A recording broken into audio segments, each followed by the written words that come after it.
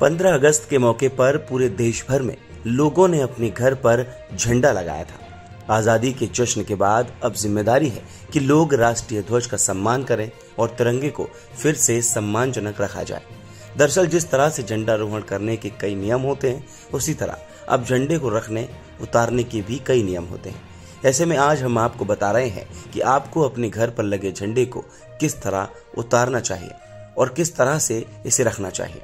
भारतीय झंडा संहिता के अनुसार, अगर आपको लगता है कि झंडा फट गया है या फहराने लायक नहीं है तो इसे दफना दें या फिर जला दें। इस बात का खास ख्याल रखा जाए कि नेशनल फ्लैग का अपमान न हो। इसके अलावा कई संगठन झंडा वापस लेने की मुहिम चला रहे हैं।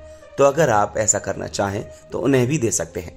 झंडे को दफनाने के लिए उसे पहले एक बॉक्स में रखें और सम्मान के साथ शांतिपूर्ण माहौल में दफना दें। मगर इसे कचरादान या फिर अन्य जगहों पर न फेंकें। अगर आपको लगता है कि आपका झंडा सही है और इसे दोबारा फहराया जा सकता है तो इसे अपने पास समेट कर रख लें। इसे समेटने का तरीका होता है कि जिसमें झंडे को लंबवत केसरिया और हरे रंग की पट्टी को सफ़ेद के पीछे कर दें। फिर अशोक चक्र के दोनों तरफ़ के हिस्से को पीछे कर दें। यानी जब आप झंडा समेटेंगे तो आपको सिर्फ़ चक्र दिखाई देगा। इस तरह झंडे को समेट कर कोई भी सुरक्षित स्थान पर रख दें। ये आपकी ज़िम्मेदारी है कि आपके घर में या आसपास झंडे का अपमान न हो।